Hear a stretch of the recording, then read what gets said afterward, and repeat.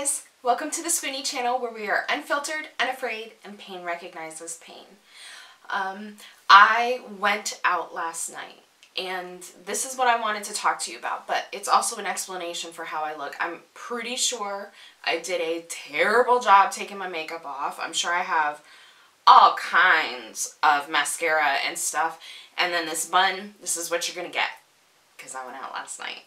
So I was going to do a video about recovering from the holidays because Lord knows that is a serious topic is how we recover from the holidays.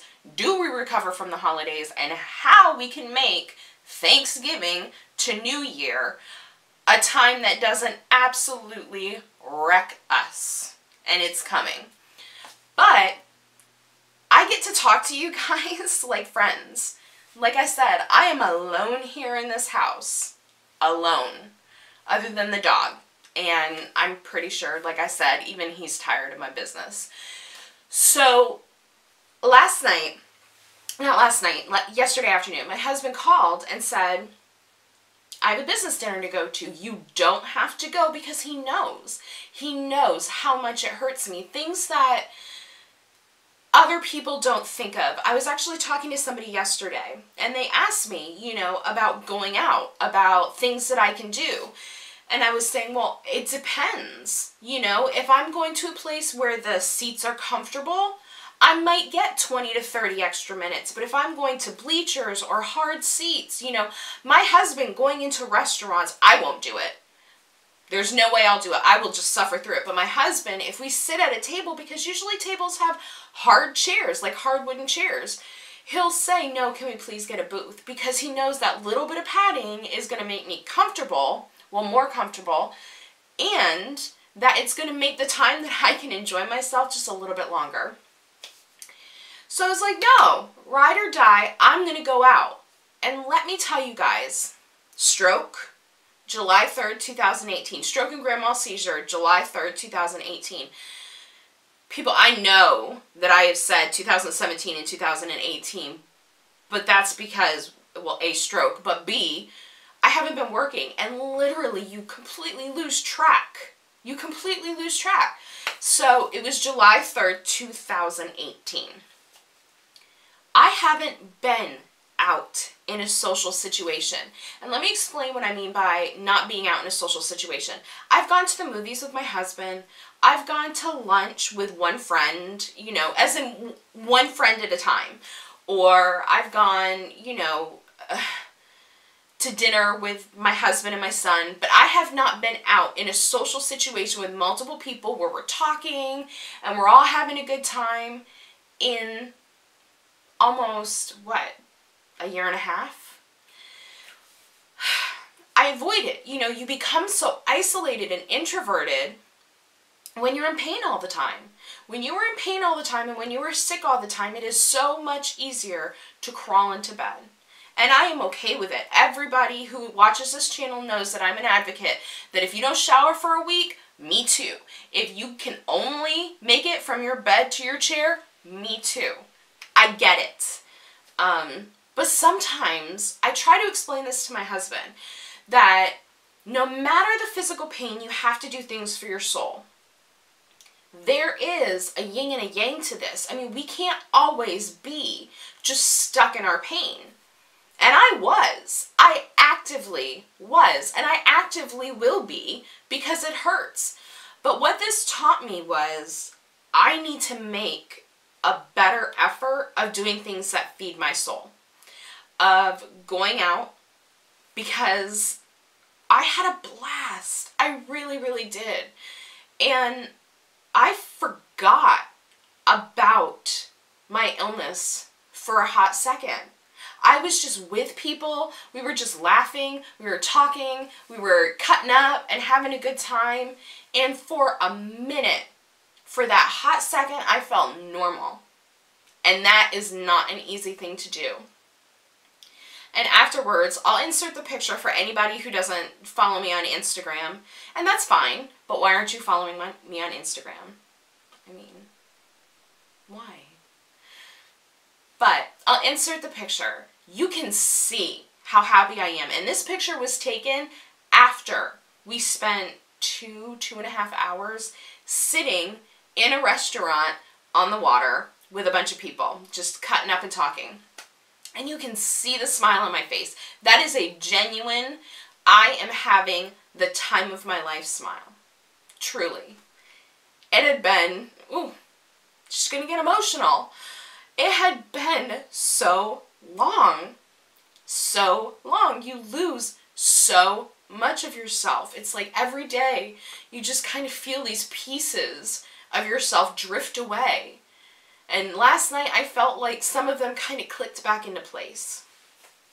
It doesn't mean that I can go out more. It doesn't mean that my pain is any less. It just means that you have to do these things that feed your soul. It's going to hurt.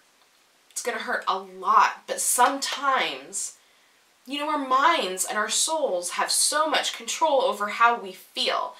And I'm not talking about, you know, I'm not getting into the try yoga or all that stuff. What I'm saying to you is your state of mind, your mood, your emotions play such a big part in how you feel that even though I will pay for this and I am paying for that. As much as I paid for it, or am paying for it, the amount of joy in my soul doesn't even matter. Doesn't even matter. I'll take it. I'll take it. And this is on the heels of Thanksgiving. And let me tell you, I cooked an entire Thanksgiving meal. I did because I love Thanksgiving. My husband loves Thanksgiving. I made pies from scratch. I made, you know, because she's she's still in a place where she feels like she needs to do these things even though I don't. But I do it because it brings me joy. To see everybody sitting around the table enjoying the food that I made brings me joy. Later, it brought me a week of an upset stomach because I don't really eat that much. You know, when your pain is that high, your stomach is not like, feed me, gotta feed me, you know?